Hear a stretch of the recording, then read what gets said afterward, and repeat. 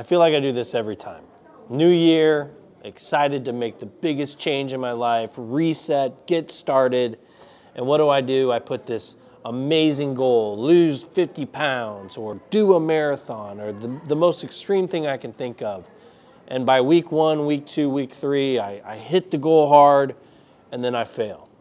Why is that? And why is it that 85% are just like me? What is the problem? What are we doing wrong? So the only big goal I ever did in my life was an Ironman.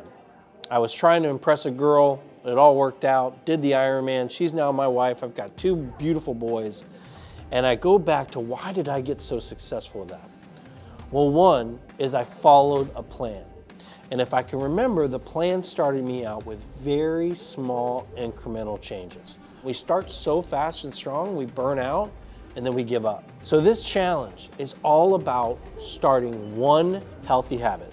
This isn't like we're gonna change our life with a thousand different things. We're looking at one item, we're gonna use small steps and celebrate small wins. And the greatest part is it's infectious. Once you start to drink water a little more, or just make it to the YMCA two times a week, after that three weeks, you'll say, I can do three times a week. I'm inviting you to think about one change that you can start with, and can we do it as a community? How many of us that join this challenge can say at the end of the three weeks, we successfully added a new healthy habit in our lives? So the theme for this week is restart. And we're gonna restart in the best way possible. And we're gonna give you tons of resources to do that. You're gonna have a virtual platform with over a thousand classes on meditation, physical wellness, spiritual guidance, health and nutrition. And we're gonna play some bingo boards together and you can win big prizes. And the best part is we have each other.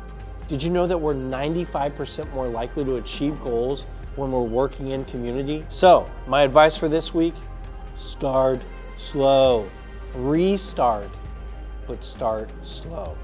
Ready to start slow? Let's do it.